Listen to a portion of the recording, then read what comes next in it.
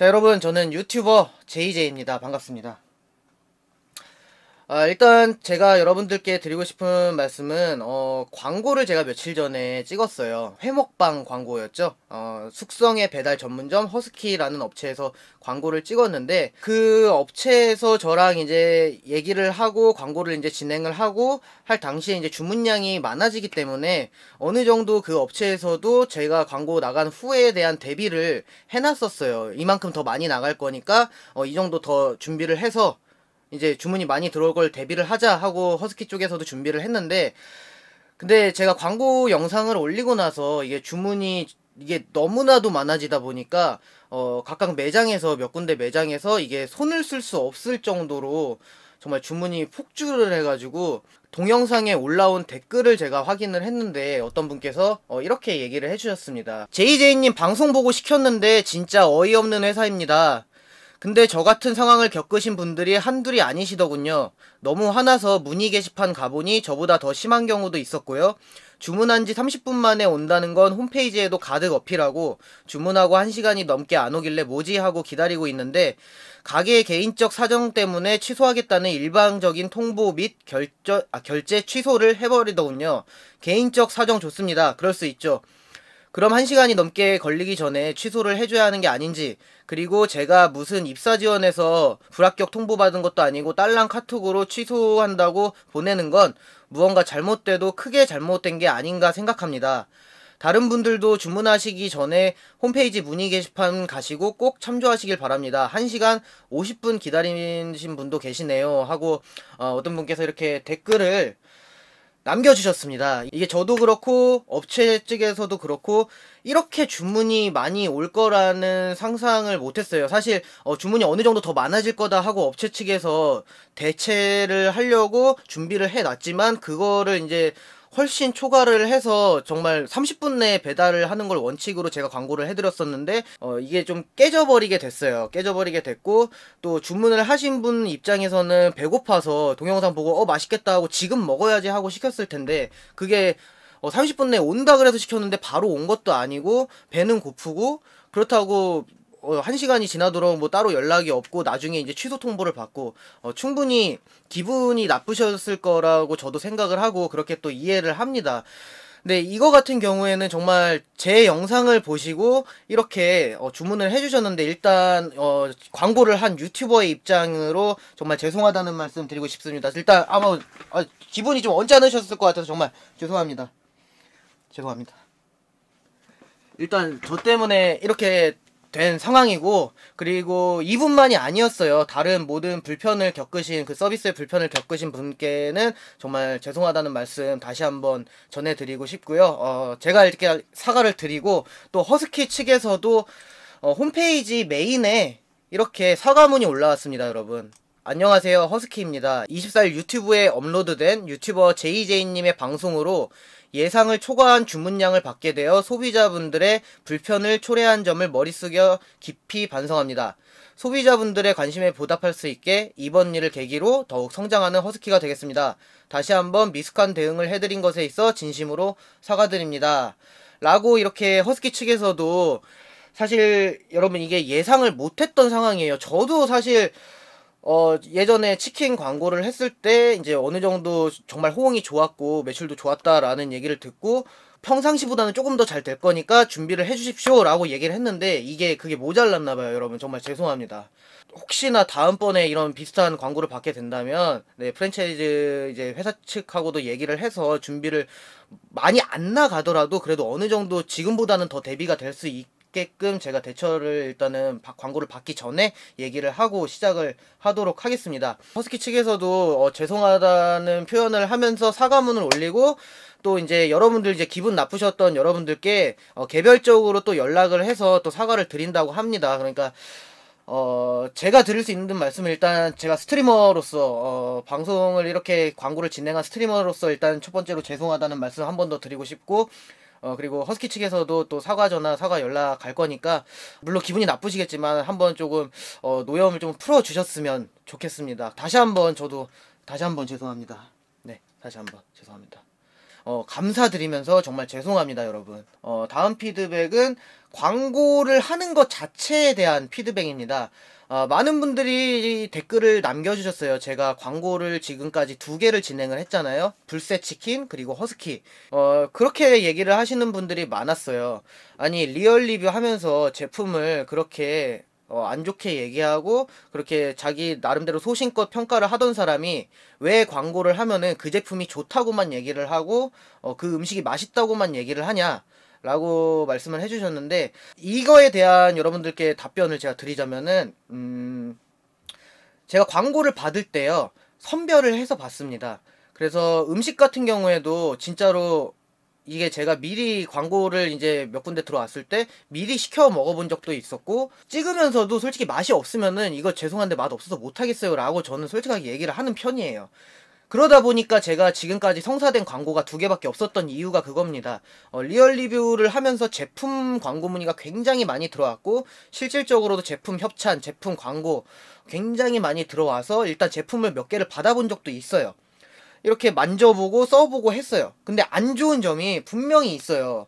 그래서 저는 광, 광고주님한테도 얘기를 드리는 게 광고주님 이거는 제가 이 부분 이 부분 너무 좋다고만 말씀을 드리면은 어, 소비자들이 이거를 저를 보고 샀는데 이게 안 좋아서 제 이미지도 추락이 되고 회사 이미지도 더 안 좋아질 수가 있는데 괜찮으시겠습니까? 라고 광고주님한테 일단 얘기를 합니다 저도 예.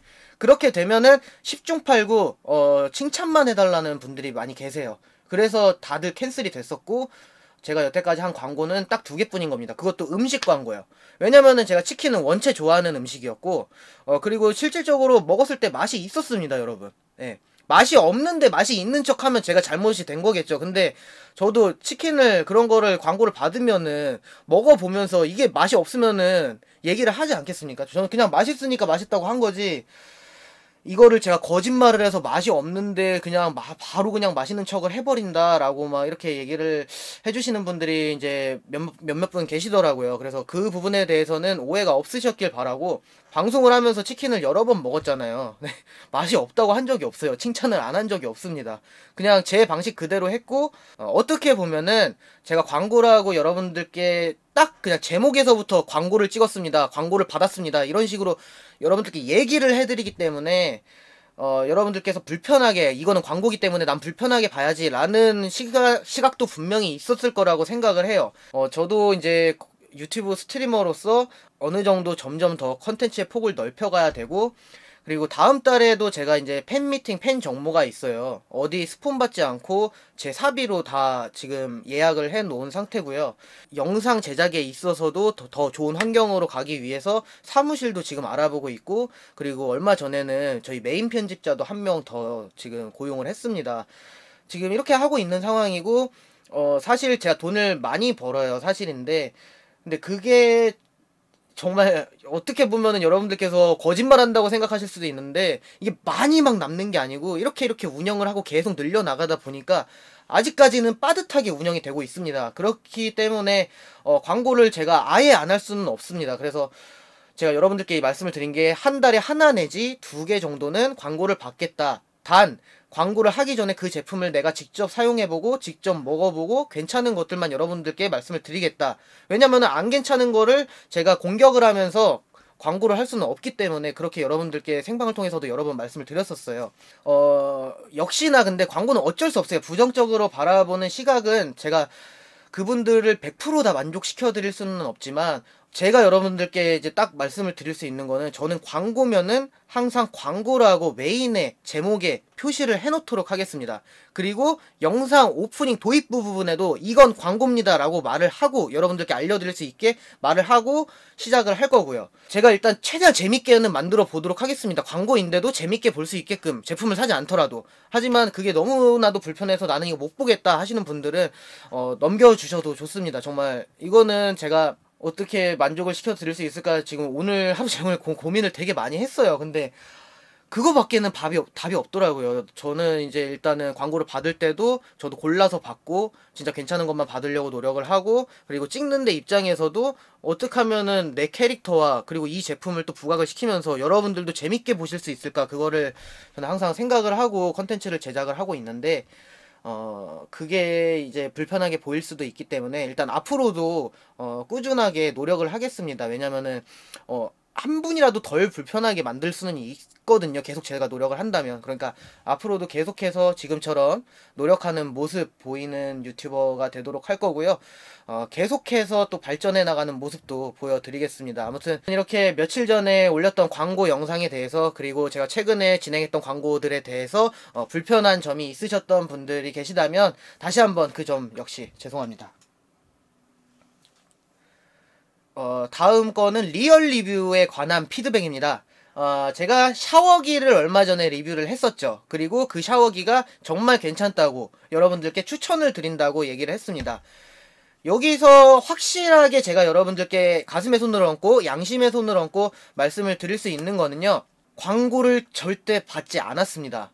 예, 결제 내역까지 제가 편집 영상에서는 띄워드릴게요. 네. 저는 광고를 받은 게 아니고요. 정말로 그 샤워기 제품을 사용을 해봤을 때 일단은 실험을 여러분들이 보셨듯이 뭐 물 펌프도 끌어올려서 뭐 불순물 정화 실험도 해봤고 그리고 잔류 염소 실험도 해봤잖아요.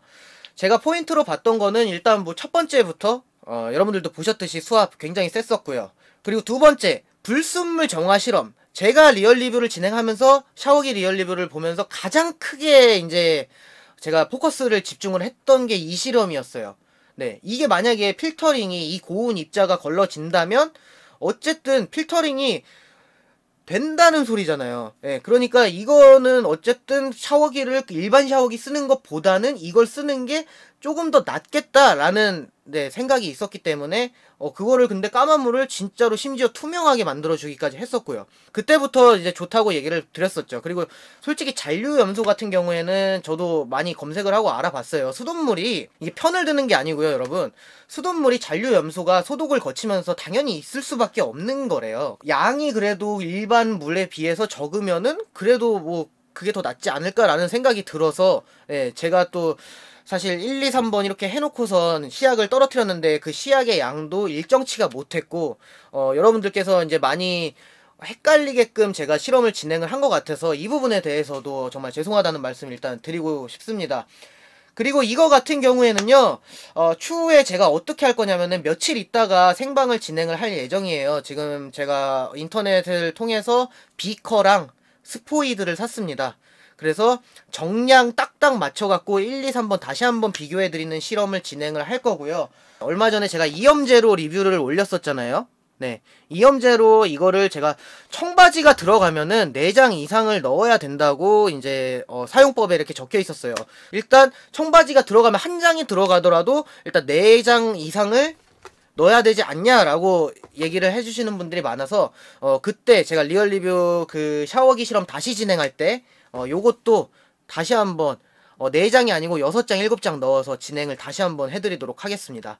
그래서 생방을 통해서 할 거기 때문에 skip 없이 전 과정을 여러분들이 다 지켜보실 수 있게끔 어, 보이, 보시는 데서 제가 아마 그 물품들이 다 도착을 하면은 아마 목요일이나 금요일쯤이 되지 않을까 싶어요. 어, 생방을 통해서 다시 한번 여러분들께 보여드리는 시간을 갖도록 하겠습니다. 네, 여기까지 제가 오늘 여러분들께 드리고 싶었던 피드백이었고요. 광고를 보시면서 불편해 하시는 분들도 계시고, 또 광고 업체에서 주문을 했는데 거기서 불편을 느끼신 분들도 계시고, 제가 실험을 한 방식에 대해서, 그리고 어, 실험이 미숙해서 어, 이렇게 불편함을 느끼신 분들도 계십니다. 일단 그분들께 다시 한번 진심으로 죄송하다는 말씀 드리고 싶고요.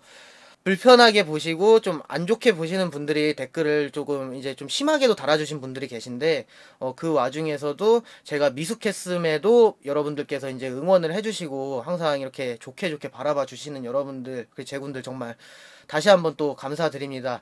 어, 이렇게 여러분들께 피드백을 하게 됐지만 어, 기분이 그렇게 막 되게 암울하고 나쁘지만은 않은 피드백을 하는 것 같아서 정말 다시 한번 어, 죄송한 마음과 또 감사한 마음을 여러분들께 다시 한번 또 전해드리고 싶습니다. 사, 여러분 다시 한번 아, 정말 그 피해를 보신 분들께는 불편을 겪으신 분들께는 정말 죄송하고 아, 그리고 저희 제군 여러분 정말 감사합니다.